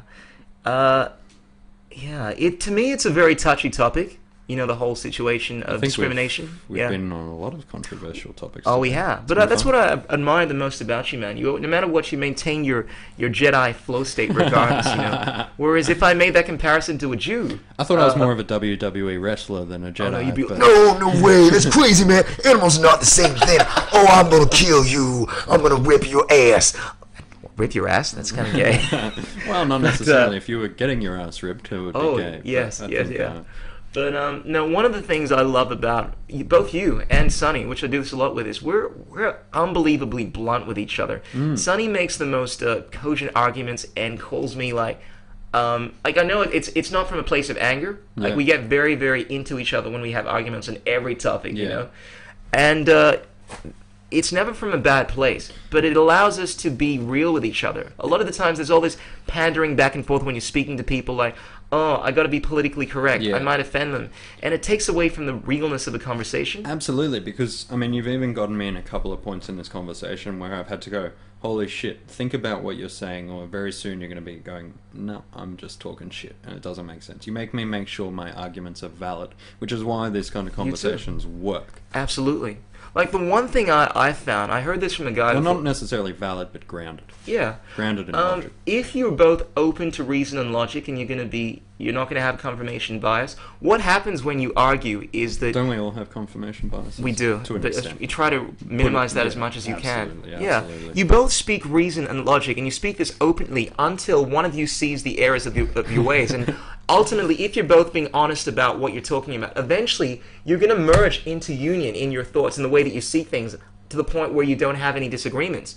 And this often happens with relationships with people. I mean, if when they continually argue, it's not because they like arguing. It's because there is flaw- there is a flawed reasoning in someone's logic, and it reaches the point where one person has to give up because they realize the idiocy of their arguments until or the friendship will break, or the yeah. relationship. But will if you break. were open and you were you were devoid of ego enough, yeah, you real one of you obviously has to see what um, the fault is in your argument, and obviously you assimilate that other person's argument, and that's that's beautiful to me. So the whole point of having, uh, the whole point of of two people arguing constantly is trying to reach an equilibrium. Yes, and to try to grow in consciousness. Mm. And if you're open enough, um, you get rid of your ego. That's what happens, man. You people open you up to different ways of seeing things, and you It's see incredibly hard.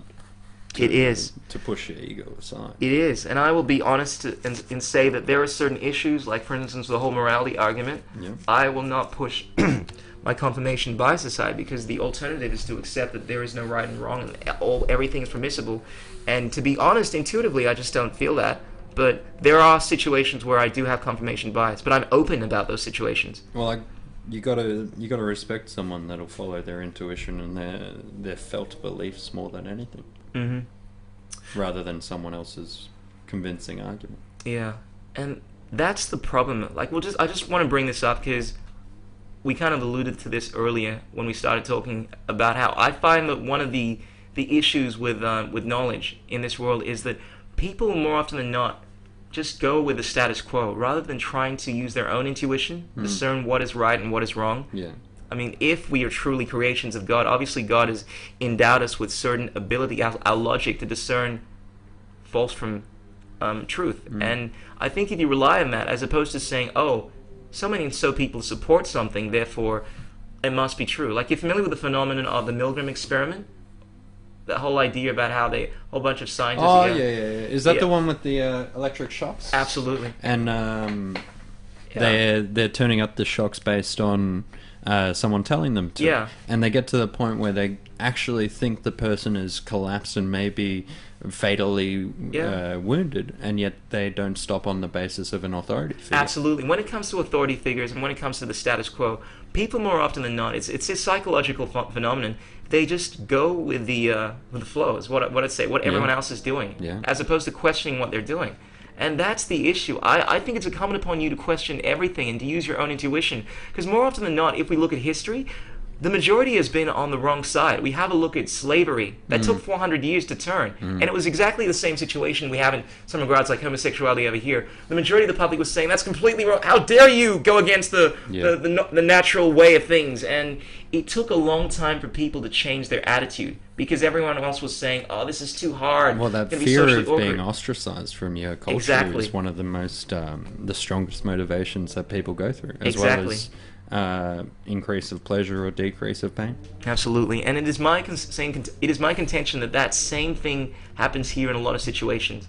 Uh, I think it it falls into the whole spectrum of animal cruelty. How so many people facilitate that with their daily actions, and not necessarily because they they feel it's it's right or wrong, but because they just go with what everyone else is doing. Yeah. And uh, I think it's incumbent upon us to like Because they want to fit in more than they exactly that whole tribal uh, urge to fit in, and it's a hard thing to break out of. It is. But I think it's I think it's impossible to get rid of. I think it's it's inherent and important to survivability, but it is possible to get to points where you say, my part of me is telling me to go with the flow, but I can't, that is a- regardless of how I end up. that is a good point, brother. Alex, uh, let's let's wind this thing up, brother. I think we should call it, brother. I Let's got. call it a day. Yeah, we've been doing this for well over an hour, and I have enjoyed this, man. It's been. A, I think we've had a great conversation, Yeah. man. It's been. It's been awesome, and, and the flow has been fantastic. Absolutely. Listen, um, if people want to get in touch with you, they want to connect with you on a psychedelic level. Uh, you wanna share your- your on- Facebook? on any level whatsoever? I'd love to hear what people have to say about these conversations. Um, Absolutely. My Twitter is Alexander Boyd without the R on Alexander, and my Facebook is Alexander. Yeah, like Alexander Boyd. Yeah, That's pretty cool, bro. Alexander was taken, unfortunately. Um, my Facebook is Alex Boyd, and I don't know. Hit me up. Absolutely. Find me on Tinder. Yeah, well, uh, ladies and gentlemen, be sure to uh, yeah to comment on this stuff because this thing is only fun when other people are getting involved, like uh, a whole tribal society. Well, you know? it's, yeah. I mean, the more the more opinions is Yeah. opens Totally, because we, we want to maintain our individuality in some sense, but we still need that tribal community going on. So, people, I, I, I urge you to share the hell out of this and to uh, to comment and let us know what you think of my crazy ideas, um, how awesome Alex's crazy salient points were, and uh, yeah, hopefully we can continue to cr- create our own little community over here. Uh, until next time, everyone, this is the Crystal Journey podcast where I have uh, conversations more often than not. I need to shut up more, but I like to uh, pick Did the you say a non-versation? Yes, I like that. A, I've never yeah, heard that before. Yeah, it's another thing I do. I hear these ideas and I throw them. I hope you start using that one as well. Ah, I might. I might. Yeah, and uh, yeah, obviously like to keep people posted with what I'm doing. I got my music video coming out very soon. I'm about to launch it probably next week. It's looking really, really cool. It's exciting, brother. It is exciting. I'll show you a little, uh, a little clip a bit later Sneak- well, after I end this thing. preview. Yeah. So, ladies and gentlemen, don't drive, don't text. Uh, peace out. Keep it real. Until next time. Uh, yeah. Peace out. Ow. Eh, eh, eh, eh. Let me get my music flowing out of here. Why isn't my mouse responding? It's terrible. What a terrible outro. Well, in the meantime, Here we go. maybe we can just keep. A little water in your cup. Here we go. It becomes the cup. You put water in Sweet! the bottle. That was good, man. the body. When the teapot, it becomes the teapot. The water can flow or it can crash. The Our deepest fear is not that we are inanimate. Our deepest fear is that we are